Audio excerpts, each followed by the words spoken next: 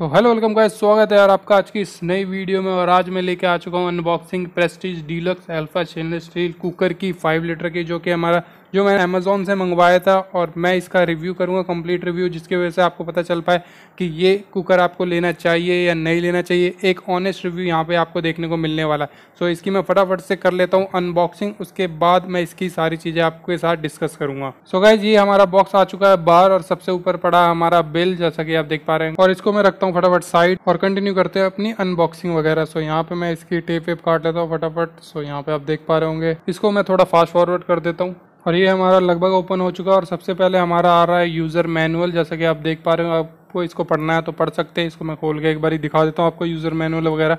और इसी में हमको ये देख सकते हैं यूज़र मैनुअल और इसी में हमें विसल देखने को मिल जाएगी हमारे कुकर की। सो ये आप देख पा रहे हो काफ़ी अच्छी तरीके से पैक्ड है यहाँ पे, जिसमें कोई भी आपको डस्ट वस्ट का इशू ना हो, कोई भी दिक्कत ऐसी कोई ना हो। और सबसे ऊपर हमें देखने को मिल जाता है हमारे कुकर का ढक्कन। जैसा कि आप देख पा रहे हो स्टेनलेस स्टील का काफ़ी चमकदार है। आपको पता होगा स्टेनलेस स्टील के फीचर वगैरह सो इस पर ज़्यादा टाइम वेस्ट नहीं करूँगा।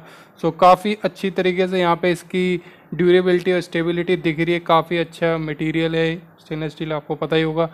और यहाँ पे अब चलते हैं अपने मेन यूनिट पे, जो कि हमारा कुकर और काफ़ी बढ़िया यहाँ पे देख सकते हैं, काफ़ी ये पाँच लीटर का मेरा कुकर है।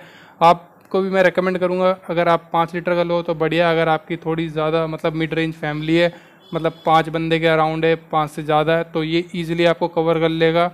और काफ़ी बढ़िया यहाँ पे मटेरियल है, काफ़ी थिकनेस यहाँ पे लग रही है। और यहाँ पे मैं आपको ये भी बता देता हूँ, ये आप कैसे मतलब इसको खोल सकते हो, बंद कर सकते हो, क्योंकि बहुत से लोगों को यहाँ पे ये भी दिक्कत आती है कि इसको कैसे खोलना होता है, कैसे बंद करना होता है। सो वो चीज़ें नहीं पती होती है बहुत से लोगों को सो वो मैं एक बार आपको बताऊँगा अभी।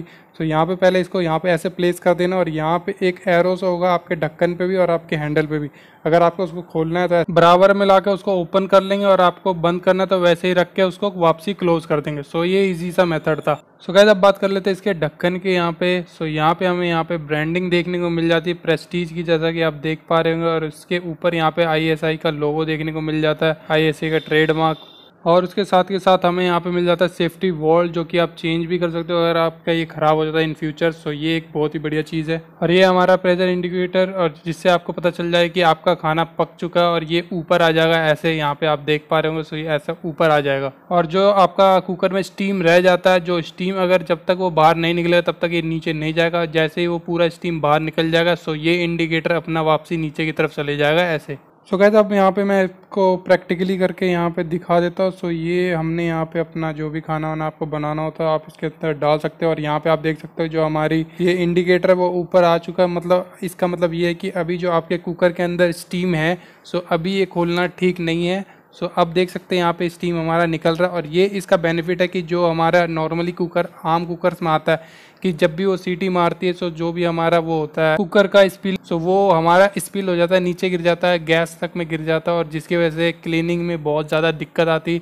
इस चीज़ का एक्सपीरियंस आपको बहुत अच्छे तरीके से होगा। बट आपको इसमें वो चीज़ नहीं देखने को मिलती, क्योंकि जो भी इसमें स्पिलेज होती है, वो इसके अंदर ही रहती, इसके स्ट्रक्चर के हिसाब से। सो so गैस अगर आप एक बढ़िया कुकर लेने की सोच रहे हो सो मैं इसको आपको बिल्कुल रिकमेंड करूँगा, आपको इसको ले लेना चाहिए। काफ़ी ड्यूरेबल है, काफ़ी रिलायबल है और काफ़ी लंबे समय तक चलने वाला आपका बिना ज़्यादा दिक्कत परेशानी दिए हुए और इजी टू यूज़ है यार। और अगर आपको इसको खरीदना है तो मैं इसका बेस्ट बाय लिंक जो आपके लिए हो सकता है, उसका लिंक मैं डिस्क्रिप्शन में अटैच कर दूँगा। आप जाके वहाँ से परचेज कर सकते हो। सो गाइज़ यही था हमारी बस आज की वीडियो में। अगर वीडियो थोड़ी सी पसंद आई तो वीडियो को लाइक कर देना चैनल को सब्सक्राइब कर देना। मिलते हैं अपनी नेक्स्ट वीडियो में। Till then peace out